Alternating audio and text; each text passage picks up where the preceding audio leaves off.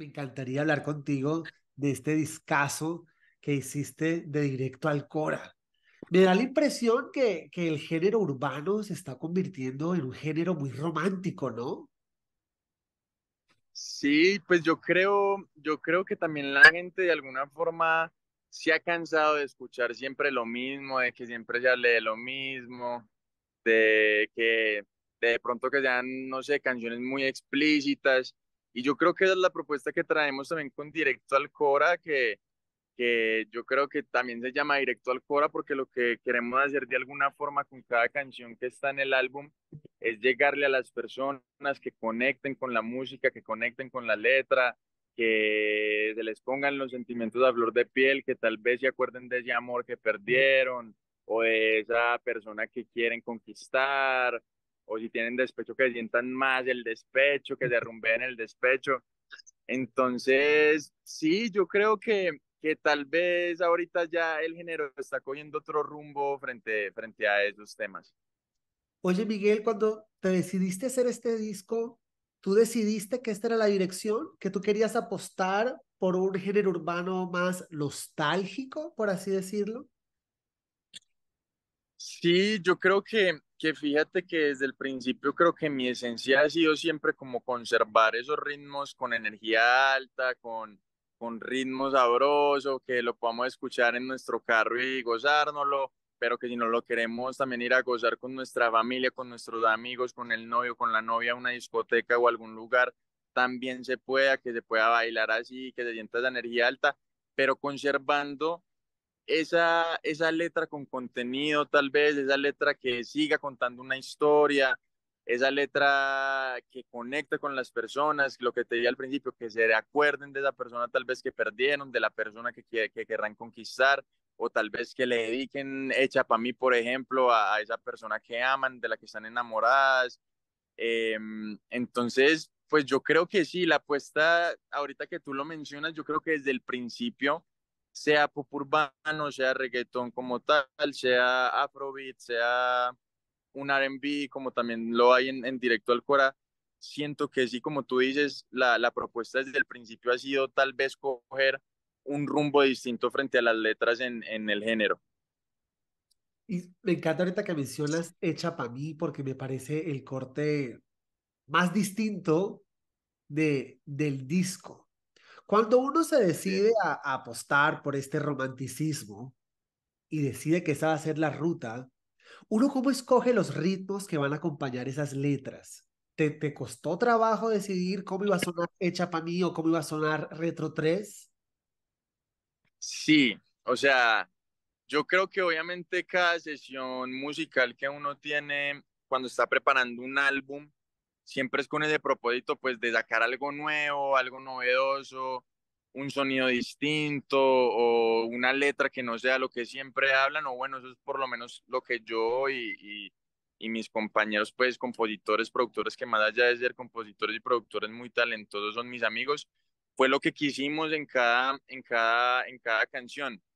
Yo creo que una de las partes más gratificantes y, y, y de más enriquecimiento artístico y de crecimiento también fue precisamente eso que tú dices, buscar esos sonidos distintos, esos géneros distintos. En este caso el Afrobeat, esta es la primera canción que yo hago de Afrobeat y te puedo decir que es de mis canciones favoritas del álbum. No te digo que es mi favorita porque creo que hay mucha variedad, creo que son muy canciones muy distintas que tal vez dependiendo de la, de la persona, el momento que esté pasando, lo que esté experimentando en su vida, se podrá identificar mejor con una que con otra. Entonces no te podría decir que es la, mi preferida del álbum, pero puedo decirte que fue una canción que salió súper natural, que la canción, si te cuento personalmente, la hicimos en mi casa con los Jacobs, que son mis hermanitos colombo-españoles que seguramente van a ver esta entrevista. Les mando un saludo súper especial. Fue algo muy bonito desde el principio, también así te cuento por encima, la canción se la hice a mi pareja, entonces también está muy inspirada. Desde el principio quisimos como que, bueno, hagamos una canción así, hagamos una canción bien bonita. En ese momento Miguel Bueno como tal, la corriente o, o la música que había sacado eran propuestas totalmente distintas a como suena hecha para mí. Entonces fue algo muy bonito, fue, creo que el resultado fue muy chévere y sin duda fue las cosas que fueron más difíciles en el proceso de crear el álbum fue tratar de meternos en estos géneros como es el afrobeat, meternos en el género, pero seguir conservando nuestra esencia, seguir sonando a Miguel Bueno, eh, que la gente me escuche y sepa que soy yo, por lo que estoy hablando en la canción sepan que soy yo, porque obviamente son géneros distintos y, cuando tú te metes de pronto a hacer un género en el, al que no estás acostumbrado, tiendes a tener de pronto otro color o no suenas como tú suenas. Entonces, sin duda fue de las cosas como más difíciles buscar esos sonidos, pero creo que lo logramos y pues todo es también la energía. Yo creo que, así como te cuento, echa para mí, se hizo en mi casa, así tranquilos, de ahí vamos a hacer una sesión, tan, guitarra, el pianista, y, y ahí se fue y ahí salió echa para mí. Miguel, es que, fue pucha, el disco se puede llamar muy bueno porque es que suena, suena muy a, Miguel Bueno, si uno se da Muchas gracias. de, de, chismes las redes sociales, uno, uno alcanza a conectar pues esa vida, esos gustos con el sonido y la letra. Y ahora que mencionabas el, el proceso creativo de cómo nacen las canciones y en medio de quién las creas, es inevitable preguntarte qué tan bueno eres para guardar un secreto, porque cuando uno tiene este, estas canciones grabadas, uno, uno, uno cómo hace para callarse y no estar poniéndolas enseguida para que la gente escuche pues lo que se está cocinando en la casa. Pues yo creo que yo creo que yo guardo buenos secretos, pero no te voy a mentir obviamente en alguna que otra canción he metido infidencias, cositas de ahí que uno le cuentan, pero no directas, así como contando exactamente qué es, no. Pero así cojo como, que la situación o de que es que me, eh, no sé, que te cuentan, y es que me, me, dijo tal cosa y no, y ahí me, me partió el corazón, me sentí súper mal apenas me dijo esto, o al revés, no, a mí me dijo tal cosa y se me pusieron los ojitos así como si estuviera viendo a un ángel, no sé, entonces, creo que para guardar secretos soy bueno, pero si me cuentan un secreto es inevitable, pues que de alguna forma tal vez utilice ciertas cositas del secreto en, en, la música, ¿cierto? Em, ¿Qué te digo?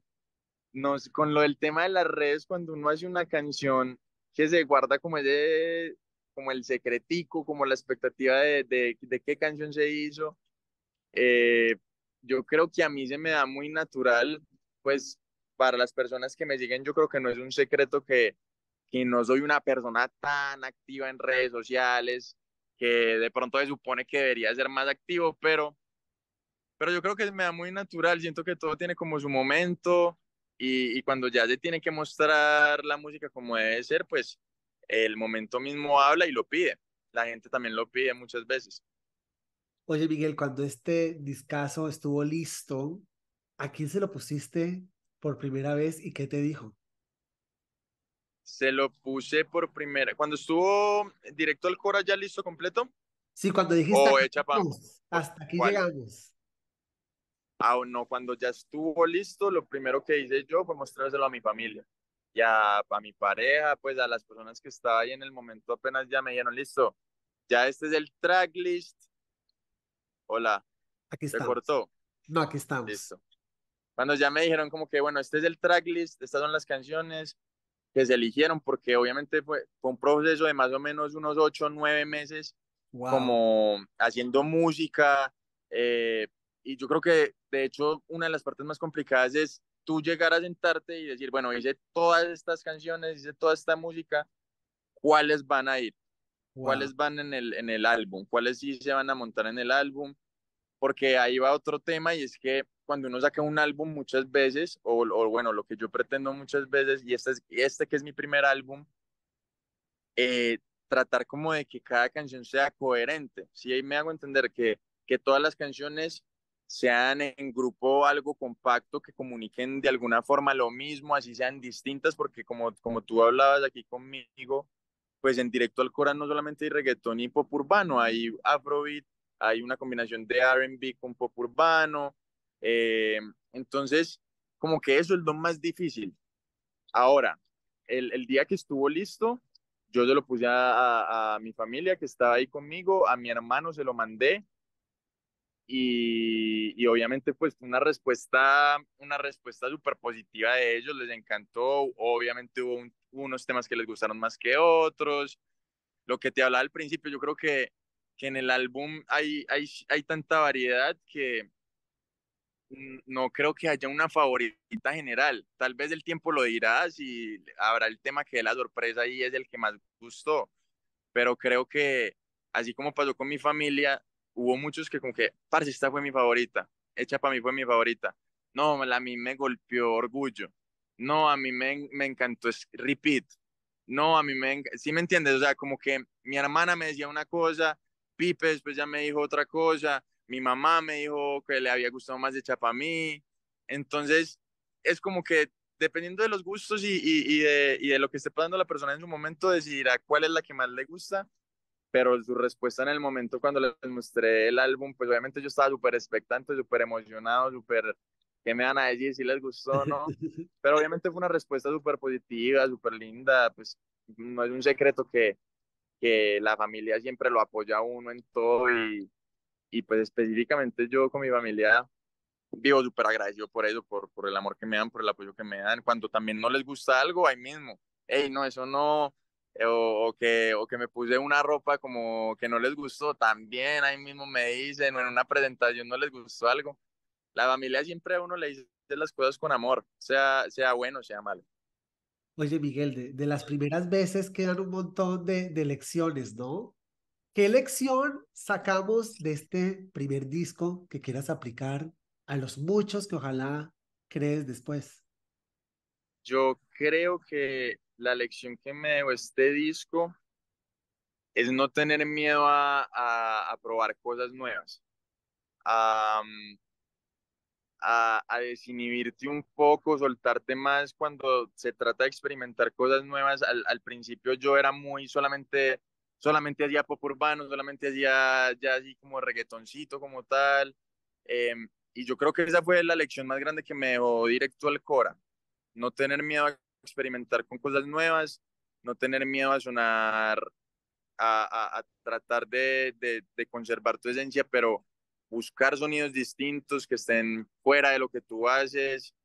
Y, y yo creo que ha dado la grata sorpresa en este caso, por ejemplo, Hecha para mí. Hecha para mí ha sido una canción que el, el, público en general que me escucha le ha dado un amor y, una, un apoyo eh, impresionante, pues que, me, que a mí la verdad me, me alegra mucho, me da mucha felicidad eso. Y ah, no, no me habían hecho esa pregunta, muy buena pregunta. Yo creo que esa es la lección que me deja directo al Cora, no, no tener miedo a hacer cosas nuevas. Oye, Miguel, uno, uno se imagina un montón de cosas que puedan pasar en un estudio de grabación, menos el miedo uno cómo se espanta el miedo a, ¿cuál es ese miedo? ¿A sonar mal? ¿O a, no, pues, pues fíjate que, yo... no te crean? Pues fíjate que yo, yo, yo me refiero más a eso como en el sentido de, de que muchas veces uno está encasillado en una sola cosa porque se te da bien. Claro. Sí me hago entender como que esto me funciona, esto se me da bien, esto lo hago bien, me tengo confianza para hacerlo, me quedo en eso. Así estaba yo antes de empezar directo al Cora, como que puro pop urbano, para mí, para otras personas. Em, entonces, yo creo que me refiero más al miedo de, de salirte de tu zona de confort, de experimentar con cosas que de pronto no estaban en tus planes, pero no sé, como dicen por ahí, los planes de Dios son perfectos y aparece una persona en tu vida que te dice, hey, vamos a hacer un tema, en estos días hice un deep house, yo nunca había hecho un deep house, él fue la primera vez que lo hice y a mí me gustó. Si a la gente le va a gustar, pues no, no sé, pero eso, de hecho, ahí estoy cayendo en cuenta de que ya se me ha hecho de alguna forma normal la experimentación con sonidos distintos.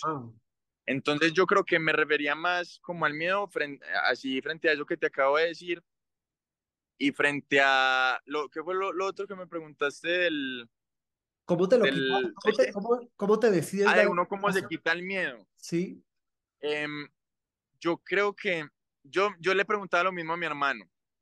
aquí, aquí entre nos y entre aquí las personitas que nos vean, yo tenía un problema de timidez muy fuerte. O sea, para mí cantar delante de 10, 15 personas era como que, o sea, me daba mucha pena, mucha pena, ¿sí me entiendes? Como que prefería no hacerlo y, lo evadía, me iba, eh, me, me, me, metía en mi celular, cualquier cosa. Entonces yo tenía como un problema, ese problema de timidez y, y realmente ese miedo a uno se le quita. Ah, bueno, en lo que acabas de decir, por ejemplo, en las sesiones era tanto la timidez que, por ejemplo, yo tenía una idea de algo que estaba sonando eh, en composición, se me ocurría de pronto alguna barra, alguna línea, y no las decía por, por timidez, ¿sí me voy a entender? Por el, por el miedo a, decirlo, ¿cierto? A que de pronto a la gente no le guste, a los que están ahí no les guste, o que no te pongan atención, no sé. Pero lo único, y me lo digo mi hermano y lo compruebo hoy, lo único que le quita a uno el miedo en ese tipo de cosas es hacerlas. O sea, si a ti te da pánico, a mí me daba pánico montarme a cantar en una tarima. Si a, mí me daba eso pánico, ¿cómo lo fui superando? O porque obviamente todavía me dan nervios, todavía me da esa sensación por todo el cuerpo. Y yo creo que eso nunca se quita, pues. Pero si lo aprendes a manejar. ¿Y cómo lo aprendes a manejar? Y simplemente tirándote al ruedo, tirándote al abismo, como dicen por ahí si te da miedo decir algo en, en, la sesión, pues sin pensarlo, tírala. Lo máximo que va a pasar es que te digan, no, eh, busquemos otra. Eh, y, en, y, en, la tarima, pues eh, ahí sí que uno siente como un montón de sensaciones justo cuando te vas a montar, pero la única forma de tu perder ese miedo o de, o de ni siquiera perderlo, porque es saber controlar tus nervios, saber controlar la emoción, sí. es hacerlo es hacerlo. Yo creo que estirarte a hacerlo eh, y seguramente si no te va bien en la primera vez que lo haga, pues eso te va a dar motivación para hacerlo mejor la segunda. Y si la segunda no es tampoco, pues entonces va a ser la tercera, pero y también no es fallecer. O sea, yo creo que muchos de los problemas que tenemos ahorita es que intentamos una cosa una mera vez y no se nos da y ya creemos que ya ahí muere todo. Y no es así. Pero la primera vez que me monté a cantar en una tarima, me temblaban las rodillas, suda, sudé como si estuviera haciendo ejercicio así increíble, pero a mí eso me llenó de motivación, me bajé, no fue una presentación excelente, pero me bajé de ahí y dije, la segunda vez lo voy a hacer mejor, seguramente lo voy a hacer mejor, y así fue, y aquí voy en, en el camino haciendo la tarea todos los días. ¿Te has googleado? Eh, sí, sí lo he hecho, pero la última vez que lo hice fue hace rato hace, yo creo que a, a, inicio de año, por ahí, ni me acuerdo, pero sí, sí, claro que lo he hecho. me encantaría preguntarte, después de haber escuchado pues todos los cortes del disco, ¿cómo describes tu voz? Siento que es una voz que tiene diferentes matices. Eh, yo suelo cantar como abajo, como, como medio, medio ronco, medio, como medio, para, hacer un, para darte un ejemplo, como digamos Manuel Turizo, que, sino que Manuel pues tiene una voz ya mucho más grave, más, más oscura, por así decirlo. Pero siento que mi voz es una voz similar, es una voz que tiene diferentes matices dependiendo de la canción, de lo que estemos hablando. Eh, es una voz que transmite, que, que yo creo que pues todos los días va tomando hasta de pronto diferentes formas, con lo mismo que te explicaba ahorita de, de la experimentación de sonidos, porque todo el tiempo, pues tú interpretas las canciones distinto. Claro. Tú una canción de despecho la cantas distinto, tú una canción que habla de amor la vas a cantar distinto, tú una canción que sea de un amor efímero, de una sola noche, la vas a cantar también distinto. Entonces creo que es una voz cambiante que puede tomar distintas formas, pero que en sus matices puede llegar a ser dulce, puede llegar a ser ya un poco más, que se sienta como un poco más contundente, más, más corpulenta cuando estamos eh, cantando abajo, pero que cuando sube se vuelve un poco más dulce, de pronto más aguda, por así decirlo. Y, y lo que te digo, todo el tiempo tal vez está cambiando de forma dependiendo de lo que se esté cantando. Oye, Miguel, ¿cuál es tu palabra favorita? Mi palabra favorita. No sé, no sé. Nunca había pensado cuál es mi palabra favorita. Eh, podría decir, podría decir amor, tal vez sí, amor. Yo creo que el amor es algo como que, pues además de ser una palabra, porque me estás preguntando mi palabra favorita, es como que, no sé, siento que todos los días tiene que haber amor. Todos los días tiene que haber amor, no porque estemos con otra persona, no porque estemos con, pues si tienes tu pareja, claro que ahí tiene que haber amor, por algo es tu pareja, pero también si estás solo, amor propio, amor de, de que, de, de sí soy capaz, del lo que sea, porque no solamente es este camino de pronto de, de ser artista, que para nadie es un secreto que es un camino complicado, pero en cualquier cosa que estemos haciendo cada uno, yo creo que, que el amor tiene que estar presente todos los días, como te lo dije. Si estás solo, el amor propio creo que es el, el amor más importante que debe de haber. O sea, si tú no te amas, ¿cómo vas a amar a otra persona? Entonces, diría que puede ser esa mi palabra favorita tal vez. Pues Miguel, lo, lo, lo que del corazón sale al corazón llega y, y no queda sino agradecerte por este discazo lleno de, de, de, un proceso. Te lo juro que entre las canciones lo que hay es un proceso, que qué privilegio que invites a todo el mundo a ser parte de ese despertar, ¿no? De ese chao miedos, que la música es para rico, ¿no? Sí, total, total. La música es para unirse, la música es para pasar rico, la música es para para rumbear, para enamorarse. Eh, y yo creo que, ay, esto acá se puso oscuro. Y yo creo que, que lo más importante es disfrutárnosla, disfrutárnosla, gozarse el álbum, eh, disfrutarse la vida, vi vivir la vida con ese amor del que estábamos hablando, brindando amor, recibiendo amor también. Y, y nada, la verdad, Álvaro, muchas gracias acá por el espacio, por tenerme acá. Eh, creo que es la primera vez, no te conocía, ¿verdad? Nos tenemos que alguna vez. Siempre hay una primera vez, de eso estábamos claro, hablando. es la primera vez, entonces, de verdad, un placer, muchísimas gracias. Y para toda la gente acá que nos vea, ya saben que Directo al Cora está disponible en todas las plataformas digitales para que vayan, lo escuchen, escojan su favorita, me cuenten cuál es su favorita. Y aparte de eso, en todas las redes sociales ya saben que me consiguen como Miguel Buen Oficial. Oye, Miguel, por último, para cerrar esta conversación, si, si esta charla se convirtiera en una canción para tu próximo disco, ¿qué nombre le pones? Le pondría. Le pondría. Ah, pero es que de nombre para una canción, no sé. Como algo así como buen, buen augurio. Buen.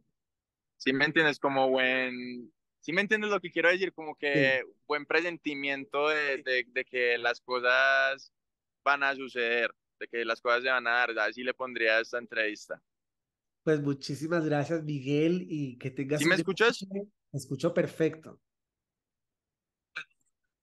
Te escucho perfecto. Muchísimas gracias por ese discazo que está increíble. Y espero que vengan muchos más, fue madre, tienes, tienes un talentazo, güey, pucha, qué chévere que, que... Muchas gracias. Qué chévere que los ritmos evolucionen, ¿no? Y las cosas evolucionan es con intención y con contenido. Y tu disco tiene contenido, muchísimas gracias. A ti, a ti, la verdad, como te acaba de decir Álvaro, muchísimas gracias. Un placer haberte conocido, espero conocerte pronto en vivo, en persona. Y, y la verdad, gracias por el espacio. Eh, estamos acá haciendo la tarea, muy felices con lo que está pasando y, hay que seguir haciéndole todos los días, es cosa de todos los días, preparación, estudio, eh, trabajo, más que todo, disciplina, por así decirlo. Y Álvaro, nada, ha sido un placer estar aquí contigo. Para toda la gente que nos esté viendo, ya saben, no dejen de escuchar, por favor, directo al Cora. Vayan, escojan su favorita, enamórense de este álbum que está hecho para ustedes y nos vemos en mis redes sociales para que me cuenten cómo les fue, si les gustó, si no les gustó, que este video esto, que lo otro, lo que sea, ahí estamos como Miguel Buen Oficial y ya saben,